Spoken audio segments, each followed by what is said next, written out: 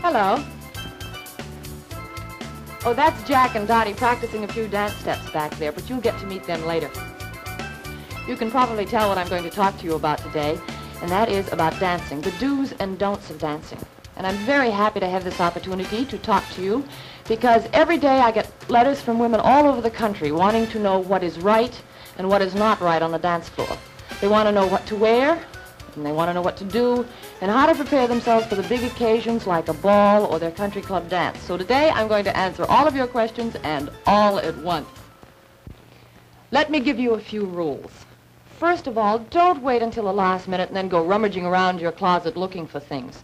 But do prepare yourself at least one week beforehand. And it's a good idea on the morning of the dance to lay everything out just as you see Dottie doing right now. Plan to take your bath just before you get dressed. And this is the way to do it. Apply a little facial cream and then get into your tub. Oh, and here's a warning. Don't let the water be any hotter than 96 degrees. It will just devitalize you and you'll be tired for the whole evening. Now you're dressed and you're all ready.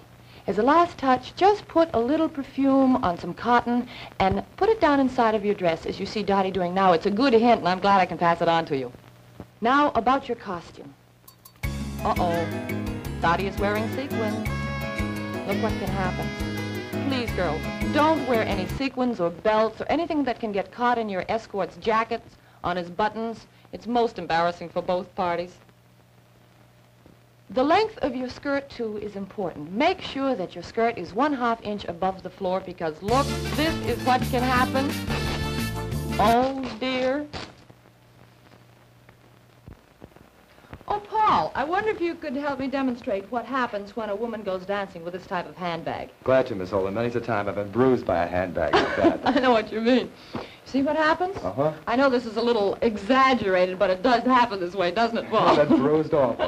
Thank you very much.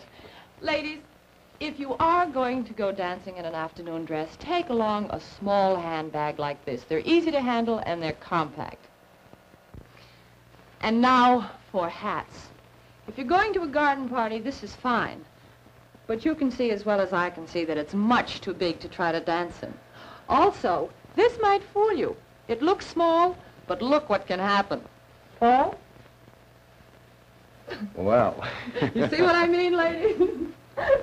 there you are. Also, if you're going to wear flowers in your hair, not this big, not this big. The best thing to wear at all times in your hair when you're going dancing is something small, a small hat, small flowers, and even small jewels on combs in your hair. The wrong shoes can definitely spoil your evening. Platform sole shoes might be nice to walk in, but they're certainly not right to dance in. Here's why. They're apt to be front heavy, and you'll lean against your partner and stick way out and back.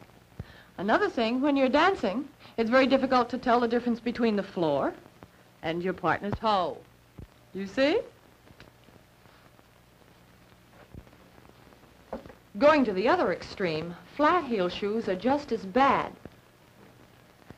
They throw your weight way back and you lean away from your partner. Two, you have to stand very high on your toes for the evening, and that is very tiring. And now for the correct shoe. Make sure it's light in weight, preferably a sandal. Now, how would you like a few pointers on how to follow your partner? Watch. You notice where she places her hand. The reason for that is that she can follow the man wherever he moves. This is not the only contact. That's not the only place that the woman gets to lead. Her elbow, too, is down, down on the man's elbow. She can feel it every time he raises or drops. This is very unbecoming. It's not only bad dancing, it doesn't look pretty. Girls, that's all we have time for. I hope I've answered most of your questions. And it's been wonderful being with you. Happy dancing.